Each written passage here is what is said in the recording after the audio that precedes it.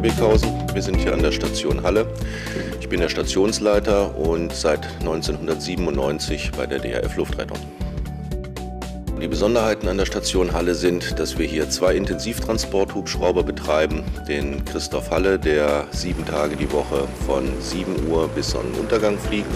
Und den Christoph Sachsen-Anhalt als einzigen Hubschrauber in Sachsen-Anhalt, der 24 Stunden zum Einsatz kommt.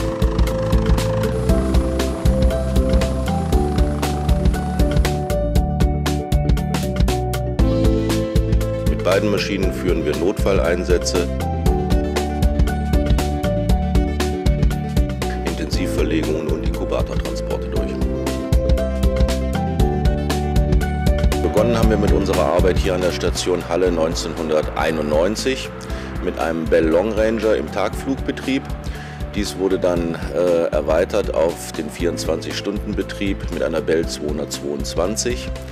Und Anfang des letzten Jahrzehnts haben wir dann die BK 117 dazu bekommen die wiederum äh, zwischenzeitlich äh, ersetzt wurde durch eine MD 900, bis wir dann im Rahmen der jetzt laufenden Ausschreibung die EC 145 zum Einsatz bringen.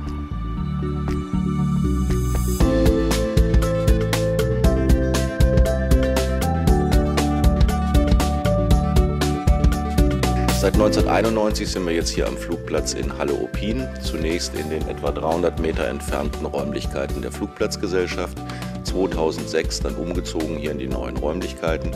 Zeitgleich wurde die Station Magdeburg seitens der DRF Luftrettung übernommen.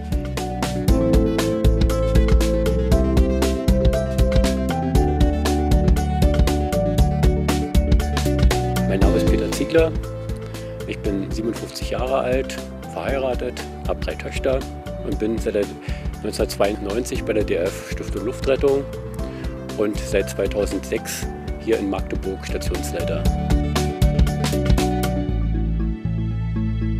Die Station Magdeburg die hat sich nach der Wende entwickelt.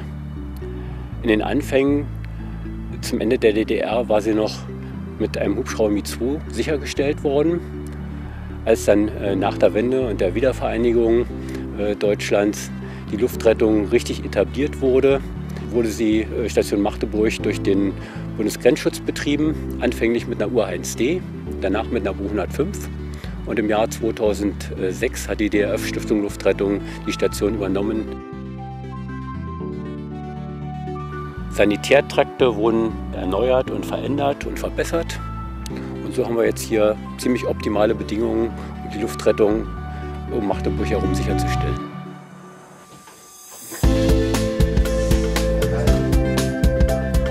Ja, eine Besonderheit ist noch, dass die DRF Stiftung Luftrettung in Sachsen-Anhalt alleinig die Luftrettung sicherstellt, und zwar an den Stationen Magdeburg und Halle.